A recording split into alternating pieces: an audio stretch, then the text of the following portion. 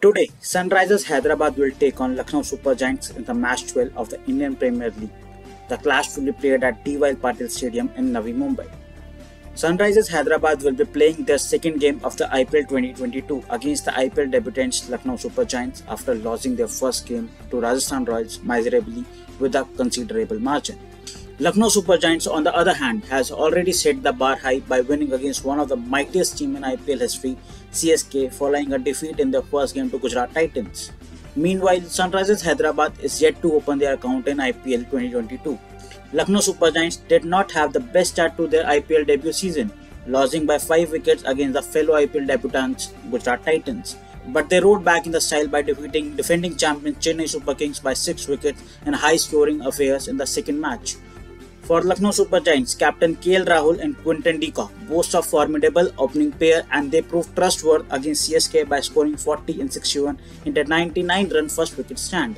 Evin Lewis and young Ayush Badoni are in explosive form, but the form of Manish Pandey will be a cause of concern for Lucknow Super Giants, who also boast of hard-hitting all-rounders like Krunal Pandya, Jason Holder, among others.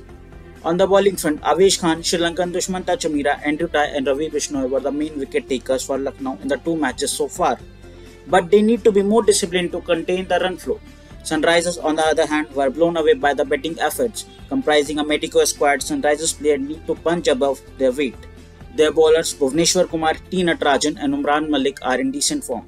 But the Sunrisers team management were expect a much improvement bowling performance from its bowling unit in the matches to come. If bowling is a concern, the Sunrisers batting department too looked cagey against Rajasthan Royals and would be relying heavily on Kane Williamson, Rahul Tripathi, Nicholas Pooran, Abdul Samad, Abhishek Sharma to deliver good runs. In their only game so far, South African Aiden Markram played an unbeaten 57 run knock, while Sundar hit a blazing 14 ball 40 in a losing game.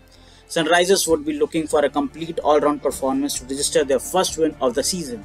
The pitch at the DY Patil Stadium is expected to provide a reasonable bounce to the bowlers. At the same time, one can anticipate a rather high-scoring game with an average score of 160 to 170 looking at the previous matches that were played here.